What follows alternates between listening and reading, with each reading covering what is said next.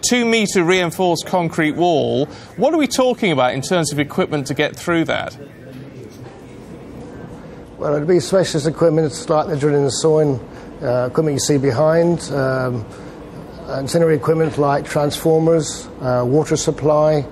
Uh, so there'd be a lot to set up in, in, in terms of getting it underway. And in terms of the, the process of getting through something that thick, what are we talking about time wise?